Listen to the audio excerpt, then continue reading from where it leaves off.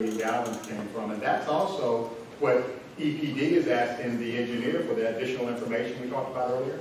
That, does- that design criteria, that's part of the information that they're asking. If it rains X amount, or if we have this amount of a flood, how much will that structure that you're designing, how much load will that take off the treatment?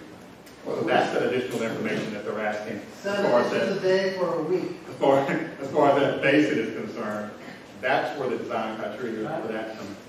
Well, at least I'm not the only one asking. The reason I'm mystified, this is the report you told me to look at as the answer to the question, so. Well, the question I thought you asked was how was Withlacoochee, how was the capacity of Withlacoochee come about? How they come about, what the capacity of that plant was.